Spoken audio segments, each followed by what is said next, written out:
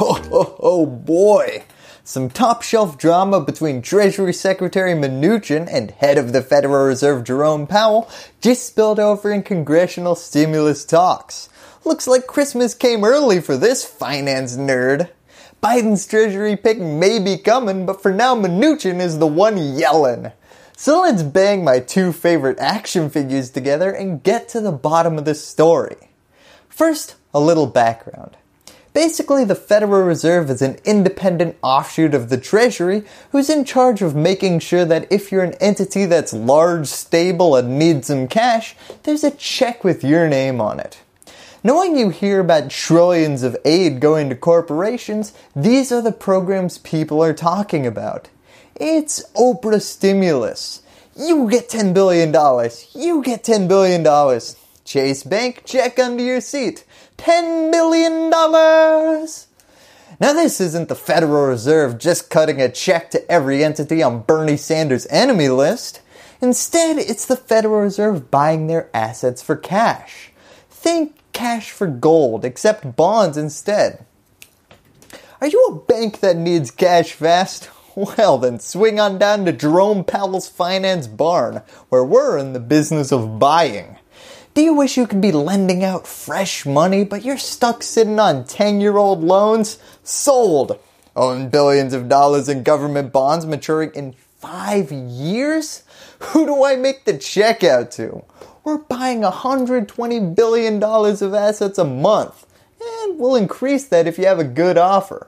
Remember, when it comes to Federal Reserve spending, we have no reservations. And scene.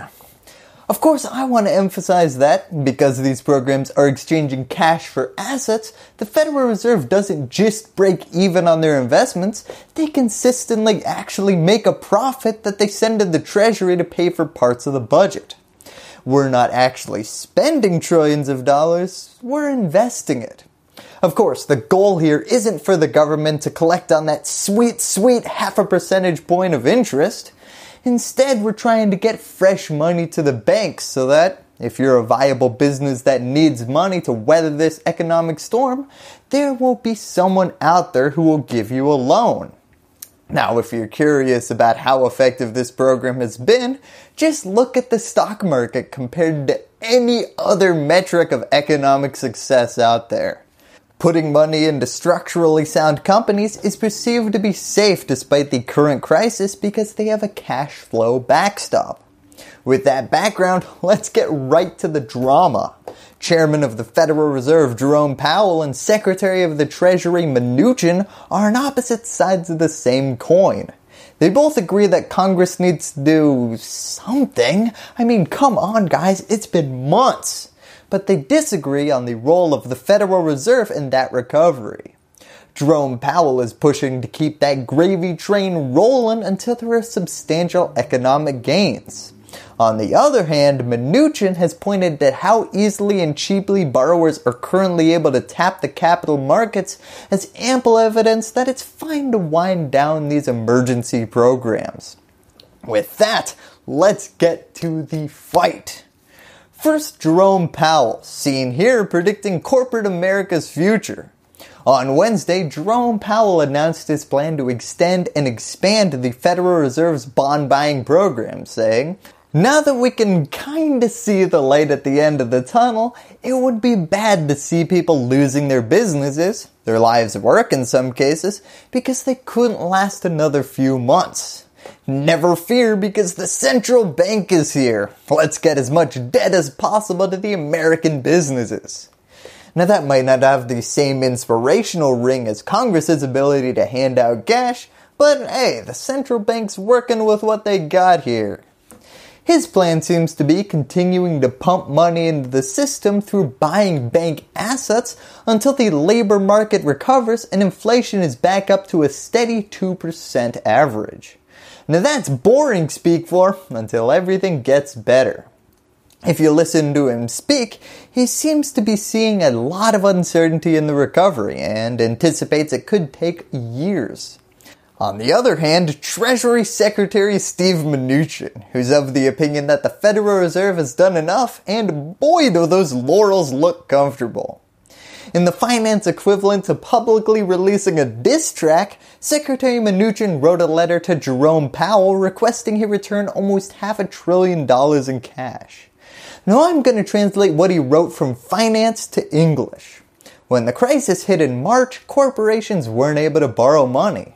And when they did, they had to pay a ton in interest. Banks came dangerously close to running out of cash. Today, corporations are able to borrow at almost no interest. Plus, if you're a state, city, or individual, banks are flush with cash and they'll give you a loan. So guess what? You can stop what you're doing and just chill out. Secretary Mnuchin further argues financial conditions are quite strong. The good news is the markets have recovered significantly. Companies don't need more loans. Now Mnuchin isn't delusional thinking, well, the economy is great again. Find me an aircraft carrier and a mission accomplished banner ASAP. I have a speech to make. Instead, he argues that this liquidity problem is solved, cash is aplenty, and now the onus of the recovery is exclusively on states to open up and Congress to get us past the finish line by distributing aid instead of debt. Let's not tie up half a trillion dollars in trying to solve a problem that no longer exists. So that sounds like a pretty compelling argument. What's the potential downside to Mnuchin's approach? To answer that question, enter Mnuchin's replacement, ex-head of the Federal Reserve Janet Yellen. She headed the Federal Reserve during the last economic recovery, and in a rare show of unity, both doves and hawks came together to agree that she cut off the Federal Reserve's bond buying programs way too early in the aftermath of the 2008 financial crisis. At the time, she saw sufficient cash in the system and falling unemployment.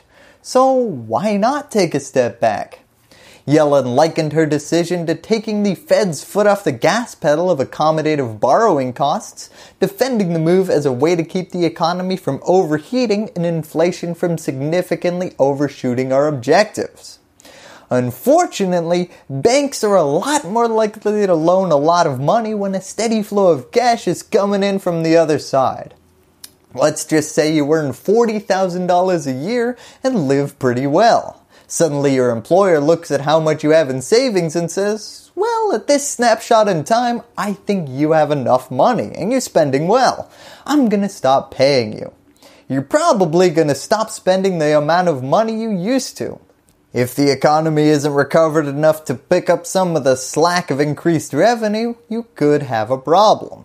Janet Yellen's apprehension unnecessarily slowed the recovery and limited access to people who needed loans, especially minority communities who have the hardest time getting them in the first place.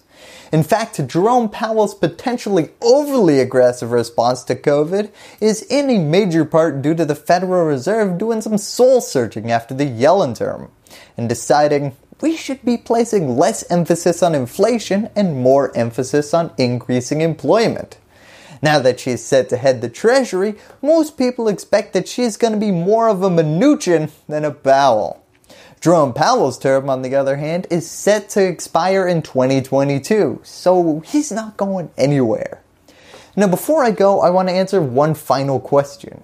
How does any of what I just talked about relate to the congressional stimulus talks? Well, the CARES Act that Congress passed in the spring created two special programs for the Federal Reserve. One that specifically lent cash to banks for small business loans, and another that lent money directly to states and local governments instead of banks. Mnuchin ended these two programs, leading to pushback from Jerome Powell and Democrats, citing the fact that we're in a pandemic and come on, small businesses? I thought we both liked that one. These programs are set to permanently expire at the end of December, and the specific debate going on in Congress today is, should the next administration's Treasury Secretary have the ability to reopen these programs without congressional reapproval? So that's the latest in this stimulating Federal Reserve debate. Until next time, thank you and that's all I have to say about that. Now, before I start begging for subscribers and patrons, if you found this episode interesting, I'm going to be providing links in the outro to videos describing, first, the Federal Reserve's programs that are in limbo, Second, how the Federal Reserve is getting the trillions of dollars to pay for these assets. And lastly, how Jerome Powell's new inflation strategy works. Hey YouTube, sorry it took me so long to publish this video, but I'm a New Yorker and the storm knocked out my phone and internet. I'd like to thank my patrons for helping me put out my videos. If you want to support independent, nonpartisan news looking into the overlooked, join this growing list of exceptional individuals by clicking on that link in the description.